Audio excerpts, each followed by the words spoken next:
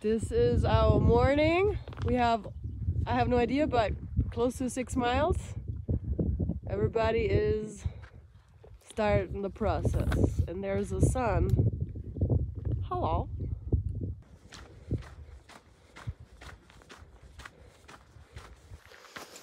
Okay, I looked at the map and we have five and a half miles to the trailhead and then another mile to walk to Paradise Valley Cafe. Then we will eat and then we are going into town.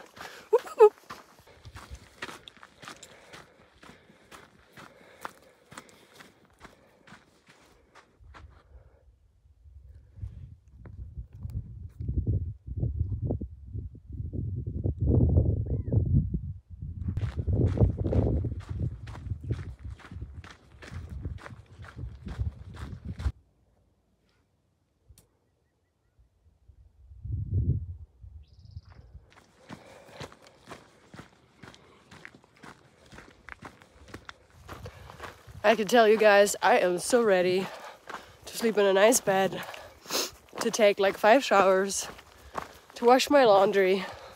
The whole laundry thing has been just just a, a mess, honestly. Like, it's definitely not as easy as on the AT. Like, in the first place, we had to wash it in a bucket. And it was so hard to dry the clothes. And you know, when you wash it yourself, it's never the same as when you get it done by the laundry machine, washing machine. And then the second time we were at the Julian hostel, Julian Lodge, the same thing. Like we could have paid $15 to get the laundry done, but then we wouldn't have gotten it until the next day at 8 a.m. And that's when we started hiking. And also, a lot of hikers said that their laundry was still damp when they got it back. So we weren't gonna risk it. So we washed our clothes and then dried it. But again, like I want it dried, I want it washed by a real washing machine, full on. Um, so I'm really excited about that. Also, I hope to heal some of these. You know, I have a chapped lip, like a it busts open all the time. I have a really, really sore nose from blowing my nose, and uh, I have this like some skin issues, but like oh, I just want to rest, slap some lotion on and eat and yeah, all that. And then look at Mount Jacinto, Mount Jacinto, however you pronounce it.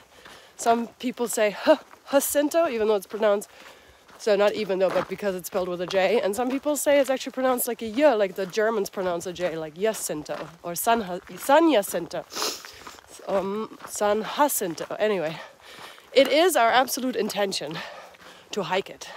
Maybe not the peak, because the peak is not part of the PCT. So if you look at far out, the red line represents the PCT, the blue line represents alternate routes. And the actual peak of the mountain is a blue line, so it's not a part of the peak, a part of the PCT. So if it's really, really, really dangerous, we are not going to hike an alternate. But we absolutely intend to hike San Jacinto. A lot of people suggest to skip it. I mean, everybody's just talking about how dangerous. And we we understand that, but we want to look for ourselves. If we find it's too dangerous, we're going to turn around and walk around it. Um, but we want to see for ourselves because we found on the Appalachian Trail, lots of people were giving us warnings of something being super dangerous, and it ended up being not dangerous at all. So we just kind of want to see for ourselves.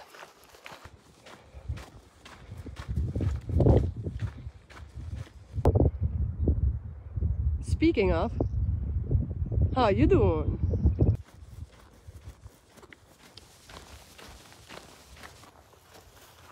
We're almost at the trailhead, so I think you're supposed to walk this way to um, uh, the Paradise Valley Cafe, but then I would miss this section right here. So I'm gonna walk all the way to the street and walk on the street because it's very safe.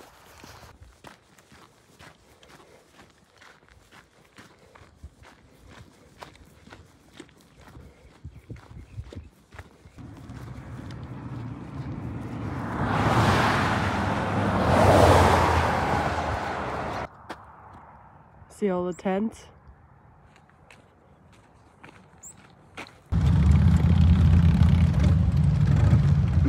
Welcome, bikers, hikers, and horseback riders.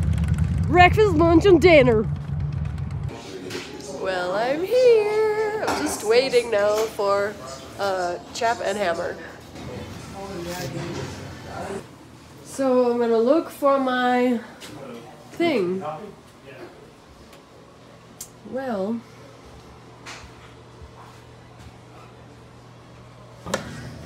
it's biscuits and gravy time.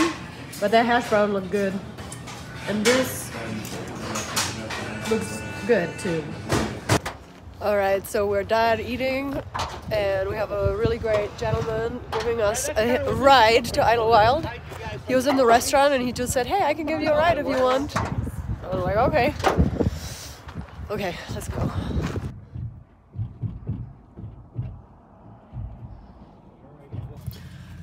This is Vic. He's giving us a ride. Hi. And you like to give rides to hikers? I do. So you built this give- contraption in the back?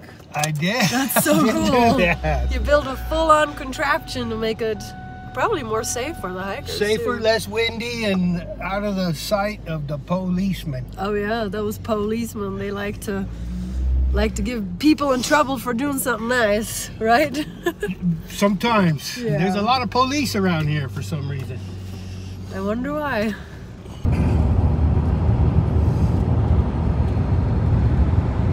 So Vic says that this area was used to film a lot of Bonanza. What is the valley called? This is Gardner Valley. Garner Valley. And there's Mount San Jacinto. Is it Jacinto or Jacinto? San Jacinto, I call it. Jacinto. Or Jacinto. There's different ways to pronounce it. Yeah, there's that storm right there Yeah. coming up.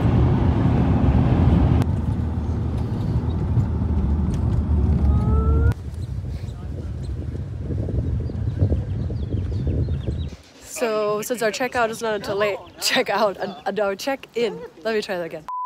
So since our check-in's not for a while, we're gonna do some chores. Maybe get food, then laundry, and then check in probably.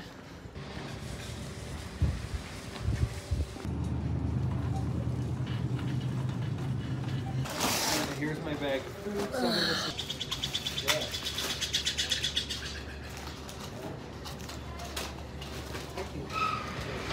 So in California, they don't have like plastic bags anymore.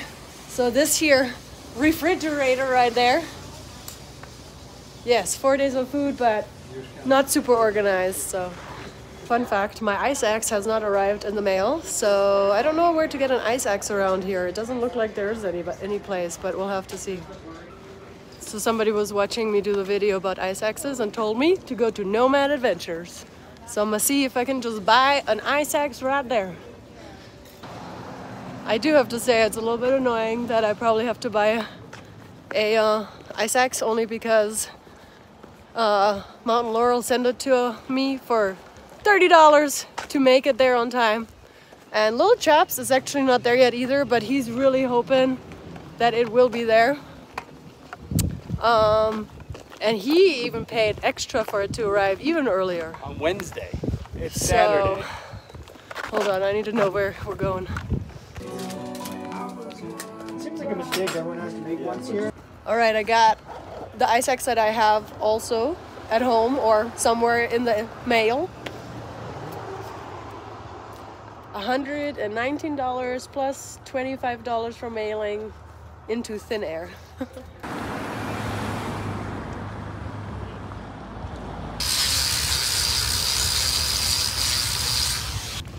now we're on our way to see if we can do laundry, but in the notes it says the laundry is closed, but we're still walking There's a car there. because maybe the laundry services are closed, but you can still do like your own laundry.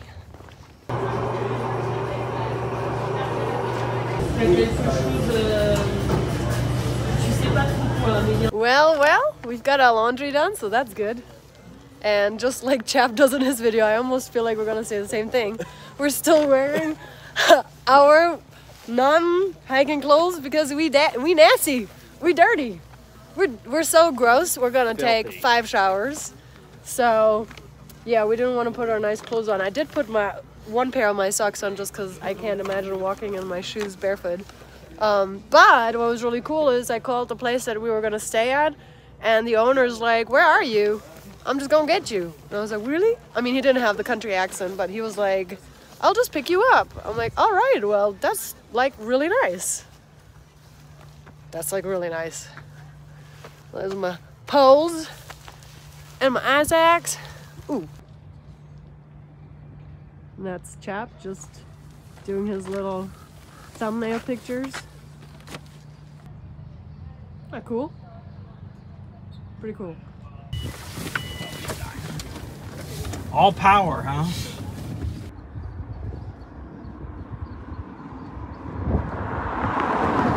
It's literally so cool. Have a look. Wow, and it's so warm. We've got a balcony, a bathroom. It's like the best place ever. So I laid out some of my food I bought. But look at this like cute little cabin. It's called a bunkhouse, like Idyllwild bunkhouse, but it's definitely not a bunkhouse. It's like cute little rooms. We gave Chap the big bed. I have the little bed for this time. We kind of switch back and forth. He's uh, drying his tie bag. Mine is on the left right there, my tent. So, pretty cool. Okay, got everything done. Shower, laundry, sorted stuff. Now we're gonna try to see if we can get to town to eat a burger. Yeah. Okay. Everything is. Raj, the owner of Idyllwild Bunkhouse and Silver Pines, um, gave us a ride. He's super nice. It's free shuttling all over the place. He is just so amazing, and honestly, highly recommend staying at his um, his places. So I I really would say the free shuttling, the breakfast in the morning outweighs any sort of under undercutting um, the pricing and stuff like that if you know what i mean I thought you said it was under 10 times.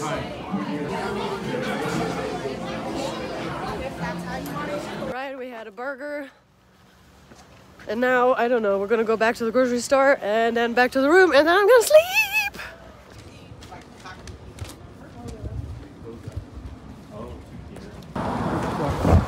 I was trying to hitchhike.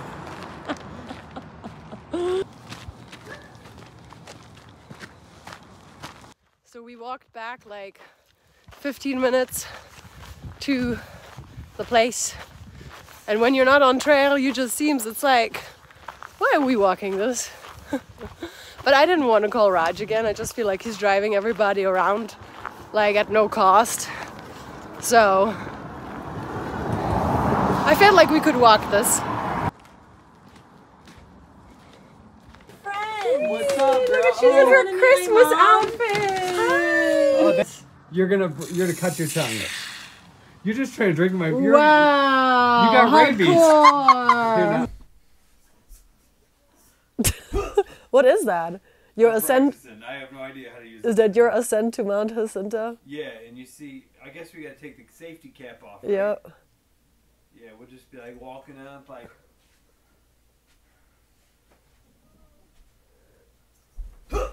nice How you do it, just like that. Good, good.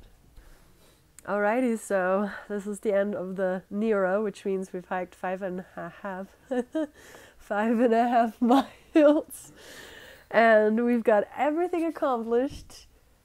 Sha- shower, laundry. I told you guys I was gonna do five showers, and I'm going to do it. I already took two. Then tomorrow I have a zero. I'm gonna take two more. And then maybe Monday morning I'll be taking another shower. Who knows? Maybe I'll take three showers tomorrow. I don't know. But I'm to be so clean once I ascend Mount Jacinto. And um, yeah, so now just sitting here editing some videos, having a little twist of tea, and uh, hearing our neighbors laugh. So the sound here is definitely coming through the walls, but who cares? It's such a great place. Um, and because of that, I kind of knew what was happening is when I saw earplugs uh, provided for us. so that kind of gave it away, right? So thank you so much for watching. I appreciate you all. I never really do outros. I kind of did it today and the night before. I know Chap does a lot of outro- outros. I kind of like don't do that. I always forget and I don't know. Let me know. Do you like outros? Do you not like outros? Okay, see you tomorrow.